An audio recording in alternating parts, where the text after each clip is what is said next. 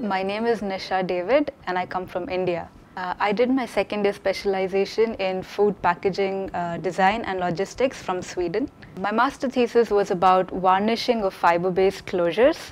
and the main aim uh, of the thesis was to select the most desirable, viable and feasible varnish and select the coating process to do the same. So I tested nine different water-based varnishes and four different coating, using four different coating processes. Uh, so the results showed that varnish 6 is the most desirable, viable and feasible varnish and uh, for the coating process, uh, spraying system equipment helped us achieve the desired results. For uh, choosing or opting FIPDes, uh, I was working back in India in, in the R&D and uh, I understood that I lacked a lot of information or understanding about the development process uh, and I feel uh, and I can confidently say that FIPDes has done justice to that and all the courses that they have taught us has given me a strong foundation uh, to continue in the R&D de department one special thing that I would like to say is FIPDes prepares you uh, or uh, molds you both personally and professionally to be a better person